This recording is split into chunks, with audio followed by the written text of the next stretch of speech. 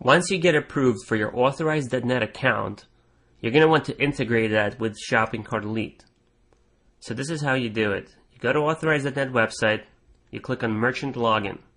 Once you log in with your username and password, you'll need to go to Account, you'll go to Test Mode, and you'll turn off the test mode. In my case, I have it live right now, so you would also need to put it live. When you first log into Authorize.net, it will be on test mode. Once you made it live, you'll go to API login ID and transaction key. You'll get a login ID and you'll obtain a transaction key and then you'll go to Shopping Cart Elite back office where it says credit card.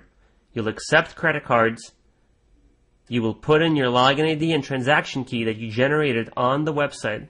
You can put your email address so you can get notifications. Make sure you're not on the test environment.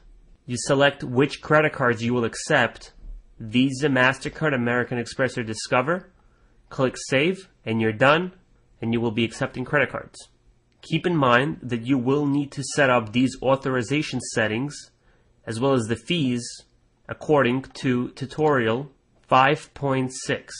Just keep in mind that as a default, you are set up as authorized only on domestic orders.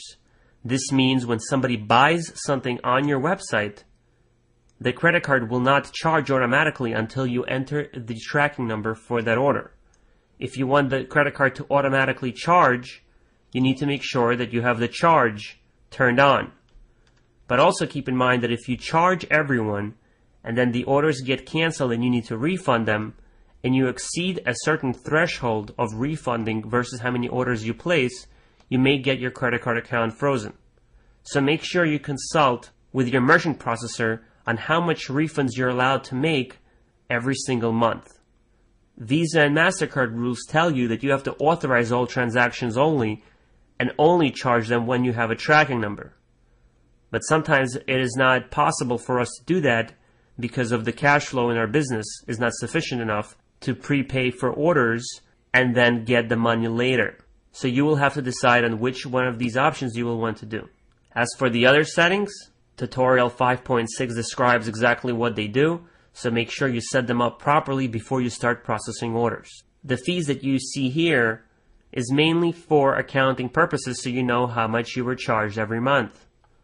The customer surcharge is if you want to recover the fees from what you have been charged. So if your fee is 2.5% and 30 cents per transaction, and you want to recover that when you process an order, you just put 2.5 and 30 cents per transaction. And next time there's an order processed, this amount will go towards the handling fee of the transaction.